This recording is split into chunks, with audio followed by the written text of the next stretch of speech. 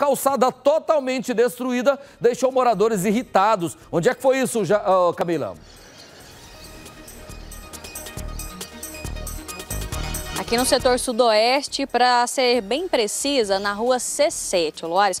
Vou pedir para o Sérgio Márcio mostrar para a gente como é que está essa calçada aqui, que é bem no encontro da C7 com a C14. Isso aqui está assim desde janeiro deste ano. Uma forte chuva, né, que acabou descendo aqui em alta velocidade, a enxurrada, né, do setor sudoeste ali, e a, essa galeria acabou não suportando tudo isso e aí levando parte do muro dessa casa aqui e a calçada também. Quem morava nessa casa aqui é o Marcos Paulo. E eu falo no passado morava, por quê? Porque ele teve que se mudar. Ele morava aqui com os pais, não teve condições de ficar aqui, porque foi feita uma promessa por parte da prefeitura para arrumar essa parte, porque isso já havia acontecido em 2021. Ele vai explicar para a gente direitinho como é que é essa história. Muito obrigado pela sua participação, Marcos. Explica para a gente, isso aqui acontece sempre, é um problema do setor mesmo com relação à chuva. O período chuvoso chega, vocês já ficam temerosos, né? Boa tarde para você. Exatamente. Quando chega chuva aqui no setor sudoeste, a gente já fica com medo, Loares. É, aconteceu mais forte em janeiro de 2021, quando veio a derrubar meu muro e a água invadiu a minha casa, perdi sofá, perdi mesa, perdi muita coisa lá dentro. E agora, em janeiro de 2022, aconteceu a chuva novamente. Né? A prefeitura imediatamente arrumou o asfalto, porque além da água ser muito forte, que bate aqui no meu muro, arranca as placas de asfalto, placas de asfalto com mais de um metro de tamanho. As placas de asfalto, aquele biju que fica solto, ele bate com força aqui no muro e ele rebentou de novo fazendo novo estrago, trazendo mais prejuízo, medo, né? Todos nós que moramos aqui, nós temos um problema grave aqui no setor sudoeste. O pessoal da prefeitura sabe, CEINFRA sabe, já fizemos várias reuniões, já estiveram aqui, já fizeram várias promessas. E a última promessa que eu recebi, Oloares, foi exatamente a seguinte: assim que passar a chuva, a gente volta aí para a gente discutir o assunto. Bem, nós estamos agora no mês de junho, já está quase voltando aí as chuvas, em meados de outubro, novembro, volta novamente e nada foi feito. Eu estou aqui com o meu problema, estou aqui com o meu prejuízo, pagando aluguel, né? E sem receber nada de, de nem, nem de vir arrumar, limpar, fazer alguma coisa, correndo um grande risco de alguém cair aqui. Olha como estão essas, essa, essas bocas de lobo, como é que está esse asfalto dá para ver ainda o asfalto, os pedaços de asfalto que ficaram aqui da última vez que a água bateu e arrancou esse asfalto. Tanto é que na última visita do CEINFRA, é, eles disseram, olha, aqui as bocas de lobo que tem aqui na porta da sua casa estão limpas, está tudo certo, tudo organizado.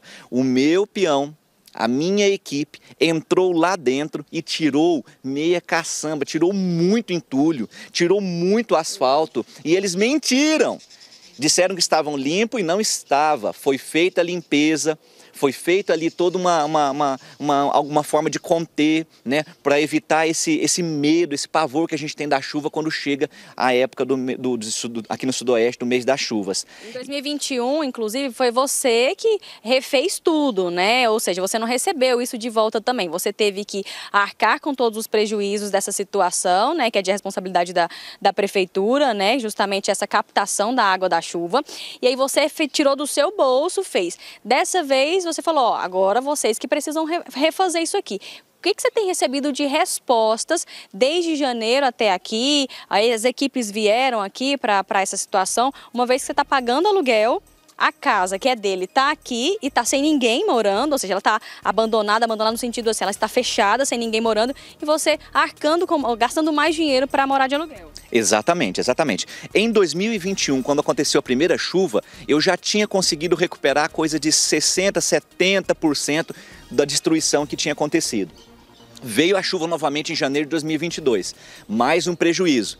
Tudo aquilo lá que eu tinha construído, tudo aquilo lá que eu tinha refeito, tudo destruído. Promessa da prefeitura, zero zero, sem infra não vem aqui mais. Depois que passou a época da chuva, fizeram promessa que voltariam, zero, não tem presença deles, não tem promessa deles, não tem contato deles, zero, nenhuma promessa. E vai voltar a chuva, Loares, vai voltar esse problema novamente e a gente vai acontecer, de passar mais medo, de ter mais prejuízo, com certeza. Aqui no fundo, no córrego, vários colegas aqui, vizinhos, têm problemas com erosões. Eu não tenho problema com erosão, mas tem que ser resolvido também ali no fundo. Tem muita coisa para ser resolvida aqui por causa da chuva.